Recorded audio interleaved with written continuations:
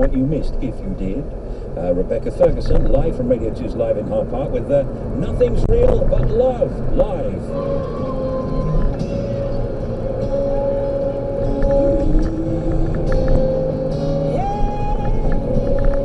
Whoa, flipping eh? Standing in I get down. Roger people?